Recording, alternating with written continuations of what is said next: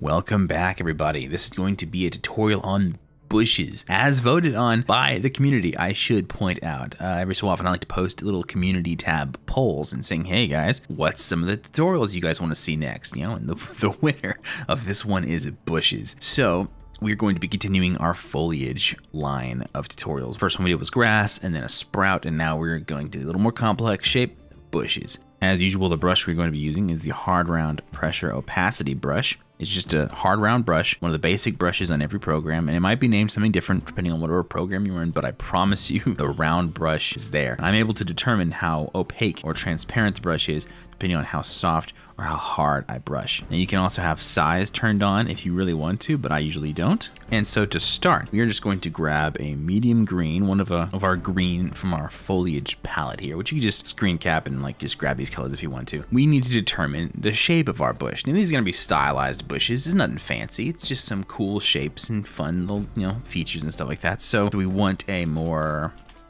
pointy bush with like a point somewhere, or do we want a more round bush? that's a little, you know, more circular in pattern. That's something you have to determine going into this. And so personally, for me, I think we're gonna go with a round bush. So we are going to continue the use of our lovely lasso tool, which is L in Photoshop, the hotkey, but if not, it's right up here. And yours might be set to one of these other ones, but if you click and hold, you'll be able to get to the just regular lasso tool, which we don't need to do any defined corners just yet. We're just gonna get a basic kind of more organic shape. So first, let's start with a shape, just a simple Boom. Now, if we hold down shift, you should see on your cursor a little plus sign right next to the, uh, the little lasso. That means if we do something over here, it'll add to the shape. And alternatively, if you hold down alt or option on a Mac and you do another shape, it'll cut into the shape that you already got. So now we're gonna hold down shift and we're gonna start adding in little random leaf patterns. When I say random, I, I mean random. Just get your hand, stiffen up your hand, but then control the movement of your brush and pen with your arm. Just keep your hand stiff and just kind of jostle your arm around a little bit. This is just one of the easiest ways I've found to get your random patterns. And we don't want anything to look like it was it was meant to be. Like we don't want anything to look round like it was a circle originally. But now let's get our brush and let's fill that in. And now we've got a silhouette. Let's take a look at this. It's pretty good, pretty good. Uh, there are some things that don't make sense, and there will be uh, with your bush. So if we look at this, these leaves could happen, but for a typical stylized kind of bush, rounded edges like this are something we're gonna have to sort of brush out. If you'll notice, this has a bit of a round bit too right there, which is common because we're just, just moving our arm around. So let's add in some more sharpness to it. We're gonna just do basic shape, and then we're gonna hold down shift. We're gonna just cut a few more shapes in here. And we're just looking for anything that looks too boring. The rule of the rules, I should say, of stylized work are shapes within shapes, the rule of cool, and don't be boring. Shapes within shapes is kind of like what we're doing right now, where we're cutting in shapes inside or originally based off of our initial shape, which was the circle. The rule of cool means it doesn't necessarily have to make sense, like it doesn't have to actually be like anatomically correct or physically correct if you if you if you want but the only way you can actually pull that off is if it looks cool. If it doesn't look cool then you should probably stick to how things are supposed to be. All right now let's add in those by brushing that in. It's looking a little better a little better. I like it. It's a good starting point. I'm down. Now let's grab a darker green and we're going to make a clipping mask. So we're going to hit the new layer. Going to right click the new layer. Do create clipping mask and it's going to make a clipping mask over our previous silhouette which means anything we paint will only show up on the mask it's clipped to. Now we're gonna get a soft round brush. Again, a basic brush that's in every program. And it might be the same brush, by the way. You might just have to turn down the sharpness. In Photoshop, the way you do that is you hold down shift and you hit the bracket keys. And now I have made this soft brush into a hard brush by hitting the right bracket. So I'm gonna hold down shift and press the left bracket key and that is now a soft brush. We are just going to brush in the bottom. Typically speaking, I like the light source in these tutorials to be on the top left, so the top left of our image is going to be the brightest and the bottom right will be the darkest. Make sure your eraser is the same as your brush. It's pretty good, pretty good starting point so far. Now, I'm gonna take my brush and pick the, if not the lightest color, then the second lightest color, or just the lighter than your base color. And we're gonna kind of put in the light source around the edges so it gives you a chance for the leaves on the edges to catch some rim light but also the bulk where the light is going to hit. So top left of your image, or in our case, a bush. And then if you want, you can click around and kind of blend the colors together. I'm using my eyedropper here by pressing Alt and holding it, and I'm grabbing the color that my eyedropper lands on. And you can just do this until you get a nice, interesting blend. And then you can shrink your brush, and then we can add in patches. Just little little patches of bright in the dark area and a little patches of dark in the bright area. But again, don't forget the rules. Don't be boring is a rule that I say a lot, which means predictable. So for example, if there's a patch here, here, here, here, where do you think the next patch is gonna be? Right there. That is predictable. That is boring. Predictable is bad. It's also why you want to vary the size of your brush often when you do these things. And this is just the initial preliminary stuff. We're about to make this thing a lot more interesting as you saw in the preview image in the very beginning of the video. Here's our first, our first look of the bush is beginning to be revealed.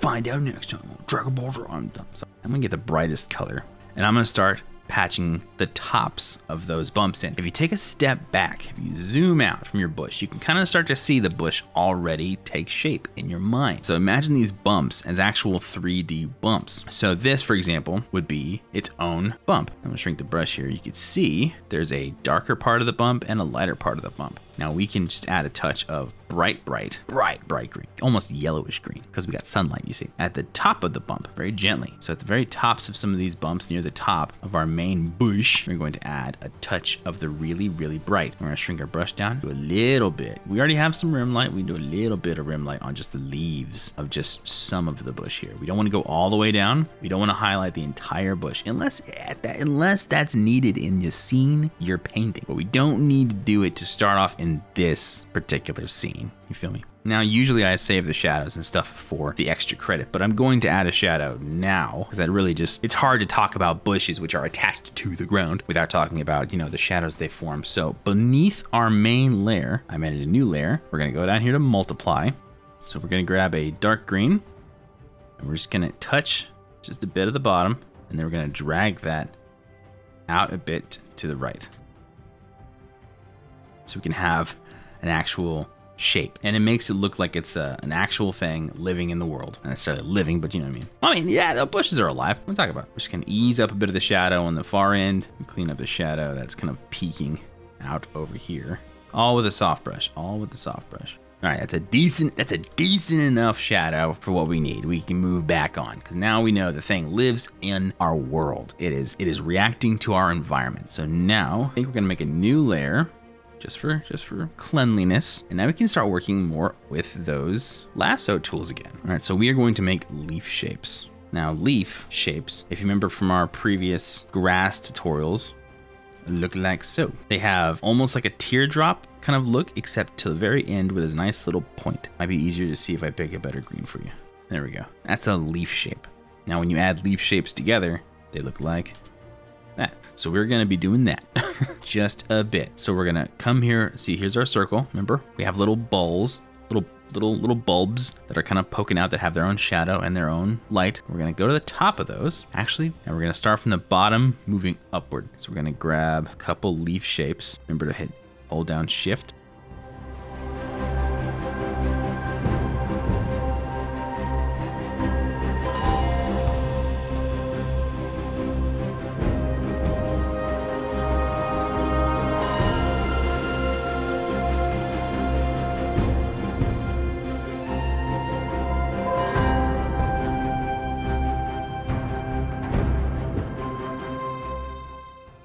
now with our soft brush, we're gonna grab a dark green.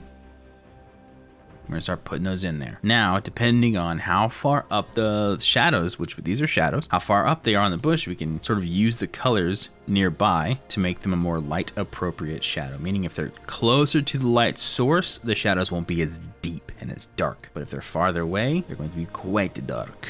Those are our first shadows. Now let's add in our highlights. So we're gonna paint on top of these shadows. We made the shadows for a reason. So we are going to paint on most of this, but we're gonna leave some shadows sticking out. So now we're going to grab the highlight color nearest our shadow. And we are going to carefully blend this into our bush, which means the color closest to the edge on the other side is the color we want to be over on this side. The color closest to the outside of our selection, we want to be on the inside of the selection, wherever that is, except near the end. The tips here need to be a little lighter. And we could brush this in, brush that back, and kind of give them a, a bit of line kind of feel, but it's gonna be gentle. We do things subtle around here until we don't. And that is roughly what you should be ended up with. Now I can see a bit of a difference here, a bit of line, and we can just without the, we don't need to have the selection tool right now, but we can keep our brush kind of big and we can just blend that in and blend it back very carefully not to get over any areas that we want to maintain. And don't get too close, by the way. I'm only doing this because I know what I'm doing. Usually I would suggest stay far enough so you can see the whole image if you can, especially in the beginning stages. So we are going to be doing this throughout all of these, right?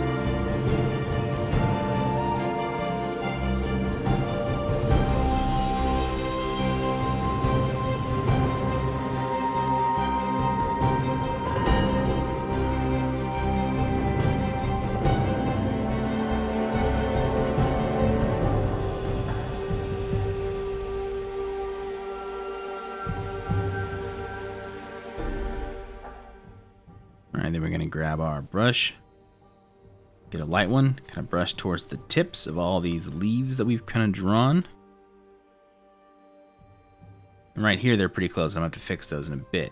But right now, I'm just focusing on the tips.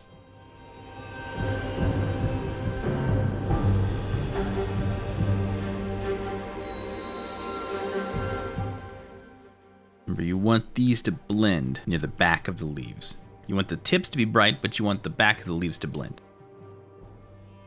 So I gotta be careful with these leaves because they're pretty close and my soft brush will bleed into them because they're part of the same selection. See? Keep your brush about the same size as the leaves themselves.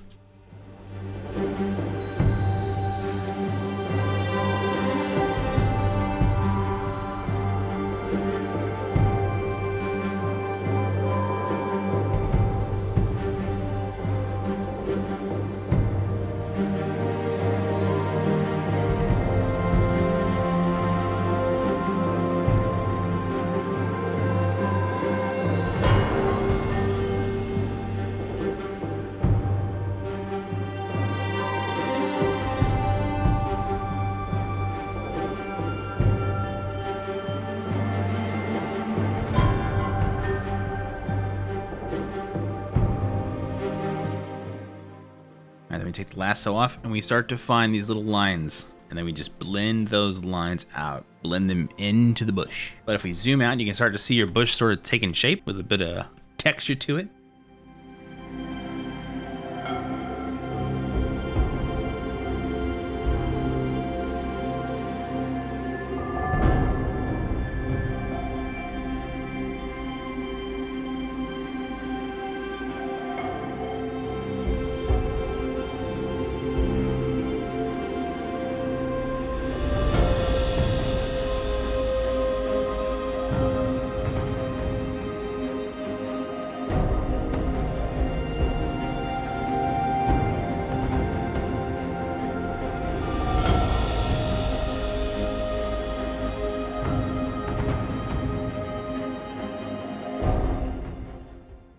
If you want to freehand some leaves, that's totally cool too. Just get your brush kind of small, as small as the leaf. And then when you're ready, shrink your brush even more to define that shape. And just remember, keep the back kind of fuzzy, but sharpen the tip. Make sure to give it a bit of shadow.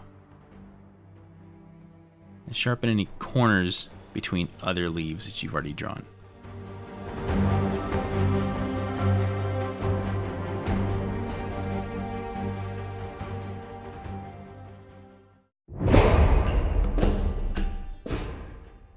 Now let's soften up some of these shadows. We don't need the shadows to be very hard. If you're really worried, you could definitely just use your lasso tool again and trace over those leaves and then draw outside that. And the way you do that is you just make a shape, right click it, and do select inverse. And now instead of painting inside the shape, you're painting outside the shape. And we can fix these corners that we've made. Remember, just keep your brush kind of small to give yourself a bit of detail. Make your brush bigger when you want to blend into previous detail. But the shadows near the tips of the leaves should be kind of fuzzy because they're lower down.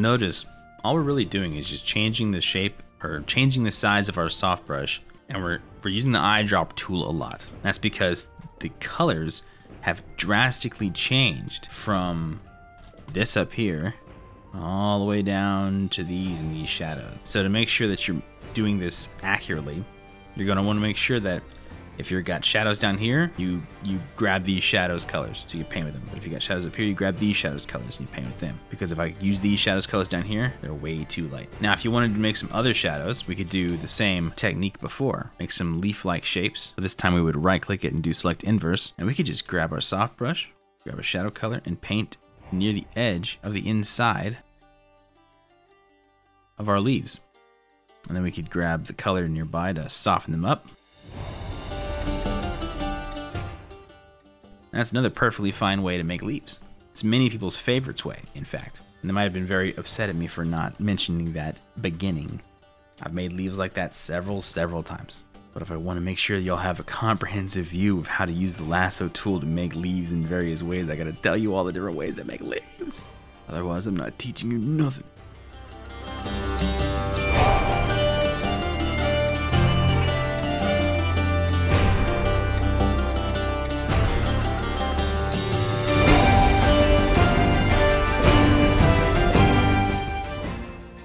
I'm just gonna make my brush kind of big and I'm just really gonna clean up this bush. It's pretty messy and I don't necessarily like bushes messy. By messy, I mean there's a lot of little brushwork you can still subtly, very subtly see, like that. So I'm just gonna clean those up a bit. It's good to have some little extra lines and textures never hurt anybody, and you can even add a few as long as you're careful. The main thing you want to make sure you always have in these pieces is stylistic consistency, meaning everything looks like it was made the same way.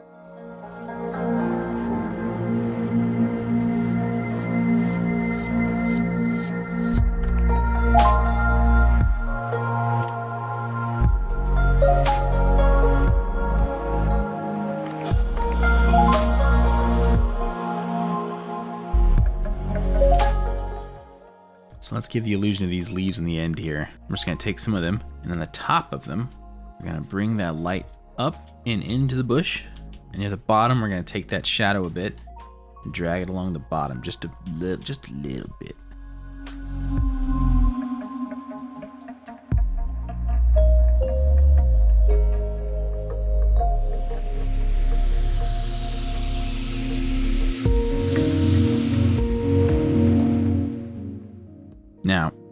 Notice while we're doing this, there's a couple things that immediately stand out. One, this bottom is too boring, too smooth. We're gonna have to chop that up. And up here, we got a weird, predictable leaf pattern. So we're gonna add some to that real quick. Get our lasso tool, make some leaf shapes, make sure they're different sizes. And anywhere you see a line that continues, like this line right here, you wanna break that up.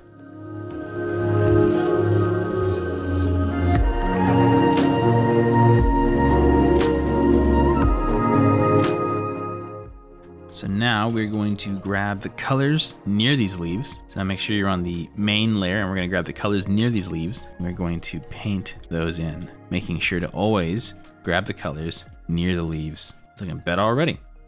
Now let's chop up this bottom section here. We don't want any of it to look like it's still part of a pattern.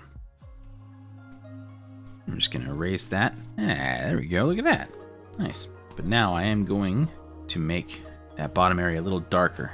Make sure the soft round brush is equipped. Start painting in the darkest color we got, just at the bottom. What's cool is that layer above it has the leaves on it, so it'll preserve any of the leaves and leaf shadows that we've already painted.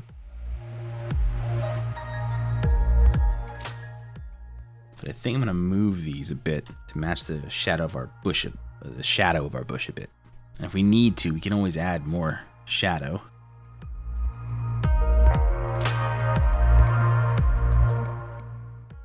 I think it's pretty good. Nice little fun basic bush, a little bit of stylization to it. Our, our basic stylized bush should be good. Now I'm just gonna add a bit of that extra credit we talked about, and I'm just gonna add some sun and it's uh make make it look all pretty. So give me a second.